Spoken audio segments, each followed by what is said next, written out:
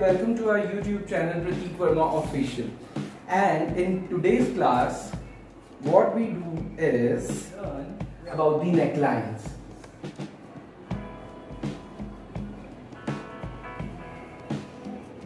Why necklines? Because generally when we take orders, तो क्या होता है हमें टेक्निकल नेम्स नहीं पता होते हैं and in every class of mind मैं हमेशा इसी चीज़ के ऊपर कॉन्सेंट्रेट करता हूँ कि आपको टेक्निकल वर्ड्स आने चाहिए because I feel you uh, appear for a for a good exhibition or shows the technical names are the keywords जिससे कि क्लाइंट को ये पता चलता है that how much knowledge you have in you about the designing skills so we are going to learn about the necklines so first neckline अब ये generally सबको पता होगा कि ऐसा एक नेकलाइन होता है।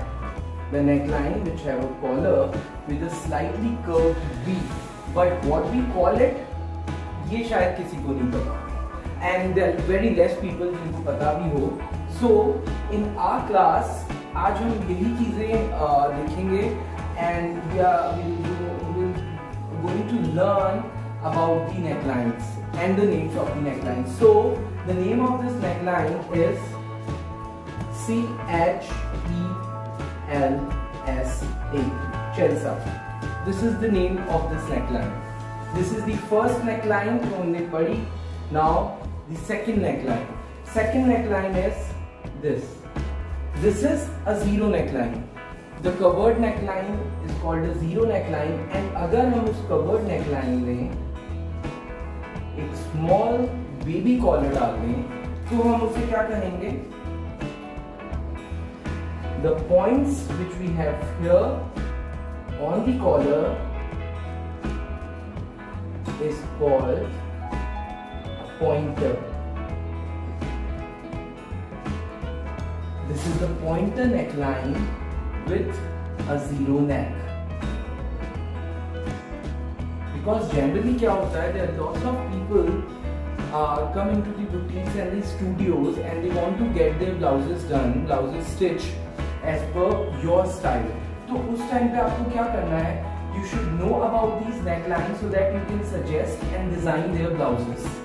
कि आपको अगर नेकलाइंस के बारे में पता होगा उसी के अकॉर्डिंग आप उनकी चीज़ें डिज़ाइन कर सकते हैं and it is not just for the blouse use these necklines for the gowns for the blouses of lehengas and for a one piece outfit for any kind of dress so, i think neckline knowledge is very important, and if you use those books and catalogs related to the necklines तो वो लगता है that looks like a tailor छाप thing कि आपने एक Taylor की दुकान पे गए हो, उन्होंने किताबें दिखा दी हैं उसमें से आपने नेकलाइन सेलेक्ट कर ली तो that looks like a tailor की दुकान. तो it is very important that if you actually want to raise your brand if you actually want to make a brand out of your name तो आपको ये सारी नॉलेज होनी चाहिए। Instead of going through just online and वहाँ से हमने necklines के एक दो पन्ने निकाल लिए जिसके अंदर नेकलाइंस होगी एंड क्लाइंट को दिखा दिया। So that's a that's a kind of a work जो मे बी टेलर भी कर सकते हैं। आपको ये नेकलाइन सारी याद होनी चाहिए so that when you design something for someone तो आपको ये पता हो कि आप ये नेकलाइन उनके लिए बना रहे हो whether it's Chelsea whether it's pointer and it's it's a flat neckline it's a flat pointer इसके अंदर क्या है? I have given point here and I have given curve in the centre सो जब भी आप ज़ीरो नेकलाइन बनाते हो और उसके साथ में कुछ कुछ कॉलर्स को कनेक्ट करते हो तो those collars will called by different names. अगर मैं इसी के अंदर नॉच दे दूँ तो this becomes a notch neckline तो इस तरीके से डिविजन होता जाता है आपके अलग अलग अलग अलग नेकलाइंस का. So the third neckline is this is the back neck this is again a curved V and this is a collar. So what we call it? It's a shawl collar. S H A W L shawl collar. When we drape a shawl or a stole in the neck, so that gives this kind of a look. So इसलिए हम इस neckline को shawl collar कहते हैं And the shawl collar is very in for winters as well. If you make blouse, if you make dress, anything. उनमें सब में आप शॉल कॉलर का बहुत अच्छे से यूज़ कर सकते हो the fourth one is see this is again zero and if you give a fabric which will be gathered on the neckline, and it creates a frill kind of a look on your neckline तो हम उसे क्या करेंगे? Generally जिसको knowledge नहीं होगी, या knowledge की रिक्वायरमेंट नहीं होगी just like clients maybe तो वो इसे कहेंगे filled neckline but we designers we call it ruffles A ruffle neckline. And as far as I remember, last year this neckline was really in. I've seen there lots of uh, females came to me and they asked for this neckline along with the neck net here and these, this was all organza pleats. So this kind of a neckline was truly in, in last year. So this is called a ruffle neckline Now number fifth. The number fifth is very common. Zero neck and इस पे हमने बनाया these two. So this is called what we call it Peter Pan. It's a Peter Pan collar. So this is called a Peter Pan collar. Now, the next one. Now generally, we all have seen um, coat necklines, जो generally coats में होती है.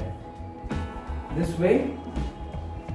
But there are lots of variations in this neckline तो हम इससे कैसे divide करते हैं suppose it's a crop top and इसमें we have given this coat collar but generally इसको कोट कॉलर बोलने की बजाय आप क्या बोलोगे? Because this part and this part this is made out of one joint in one side of collar so this is called a notch collar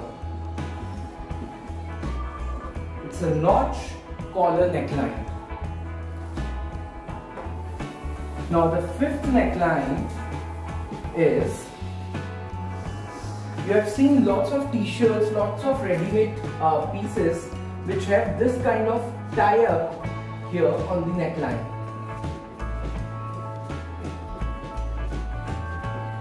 So what we call it?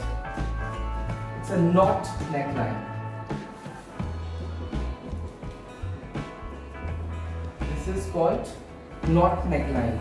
आप इसके अंदर variations भी कर सकते हो these are the basic names और फिर आप वेरिएशंस करके you can design as any number of necklines with the zero neckline आप ज़ीरो के साथ में कुछ भी ऐड करके कुछ भी डिफरेंट नेकलाइन डिज़ाइन कर सकते हो। एक बहुत ही कॉमन नेकलाइन है and that neckline is this what we call it? It's a normal shirt neckline. It's a shirt collar. Shirt collar also looks really smart अब शर्ट कॉलर में भी you can do lots of variation आप collar change कर दो, आप उसके अंदर Peter pan डाल दो दिस बिकम्स पीटर पैन आप उसके अंदर कर्ल्स डाल दो फ्रिल डाल दो रफल्स डाल दो, so this become a frilled collar.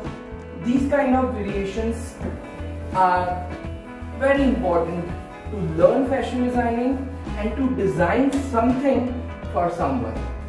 Now the next neckline is suppose if you are working on a Nehru collar. Generally we, we all know what is Nehru neckline जो कि हमारे जोधपुरी jackets में होती है अब इसमें if I give this neckline here with the centre buttoning तो ये क्या बन गया this become a bib neckline neckline. Bib जो kids के लगाते हैं। So this is a bib neckline. Next neckline is, जो हम जनरली विंटर्स में भी wear those covered neckline sweatshirts इसको हम क्या कहेंगे? And this is very in for western dresses as well So this neckline is called turtle neckline. It's a turtle neckline. So this is called a turtle neckline. Uh, that is around 3 to 4 inches broad as per the neckline of a person. There is one more beautiful neckline जिसके अंदर आप क्या करते हो suppose this is a zero neckline अगर आपने यहाँ पे एक फैब्रिक की स्ट्रिप लगा दी just the strip or may be if you have given a piping on it तो ये कौन सा नेकलाइन बन जाएगा? It's a crew neckline C R E W generally जब आप फ़्लाइट क्रू का जो गारमेंट्स देखोगे so they are all have like zero neckline along with strip or a piping of some contrast color on the neckline. So this becomes true neckline. And you can even design a beautiful garments with this neckline because this looks very classy. Now the next neckline is, that's it. We are done with almost all the necklines. आप इसके variations कर सकते हो and then you can design the dresses out of it. जैसे मैंने आपको बताया था notch collar. This is a notch collar. अब मैंने notch collar use करके have designed something. तो हम guys I was talking about this garment. अब इस garment में what I have given? I have given a notch collar but I made it very sleek. ये एकदम sleek collar मैंने दिया. ये पूरा sleek collar है and on that sleek collar I have given a work of Zardozi and some of the French knots. As you all know what is Zardozi and French knots. मैं अपने हर class के अंदर एक एक demo ऐसी चीज़ों का दूँगा जिसके अंदर आपको वर्क की क्लैरिटी आएगी। जैसे it was just a fabric and it was habutai silk along with the golden chhapa work इसके अंदर गोल्डन छापा वर्क दिया हुआ है, जिसके अंदर गोल्डन डॉट्स डले हुए हैं। The fabric got to me by a client जिसके it was completely white so white fabric जब आपके पास में आता है, आपको क्या करना होता है? सबसे पहले यू नीड टू स्केच आपने स्केच किया then you need to suggest a client कि आपके ऊपर कौन सा कलर अच्छा लगेगा।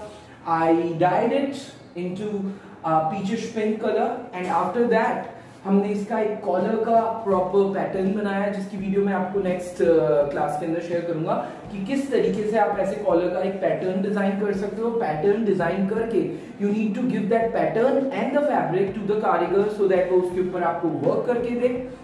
वर्क करके देने के बाद में आपको इस तरीके से प्लेसमेंट करना है। जैसे we have given work on the collar on the empire line in the sleeves hem and ये वर्क पूरा आपका राउंड बैक तक जा रहा है। This way So we have given complete work on the neckline and on the waistline. पीछे भी collar पे आपको पूरा वर्क दिखाई दे रहा है। सो so, इस तरीके से हमारा एक गारमेंट डिज़ाइन हो गया और आपने जब गार्मेंट डिज़ाइन किया तो आपने क्लाइंट को बता दिया that you are giving this collar to her on her fabric तो इस तरीके से you can design anything by using those elements principles collars lines this is a pattern this is a pattern जो it's a element of design and the work is the rosy in the next class I make you clear कि work क्या क्या होता है, क्योंकि generally मैंने खुद ने ये चीज़ देखी है कि people don't know the names of work they know visually कि कौन सा वर्क है बट उनको नाम नहीं पता होता कि हम जरदोजी किसको बोलते हैं। अब zardozi is not a work zardozi is just a technique आप जरदोजी टेक्निक से सलमे का तार भी यूज़ कर सकते हो, जरी का तार भी यूज़ कर सकते हो you can use badla as well so zardozi is just a technique zardozi is not a kind of a work zardozi is a technique of ornamenting any kind of an outfit. So, ये सारी चीज़ें हम next class में clear करेंगे but please उससे पहले subscribe कर लो सो so that जो मैं और आगे चीज़ें शेयर करता हूँ, आप उन सब चीज़ों की वीडियोस के साथ में अपडेट रहो. And for any kind of queries please message me on Facebook and Instagram it's a clean notch collar Y notch collar because we have given joint and this have a cut thank you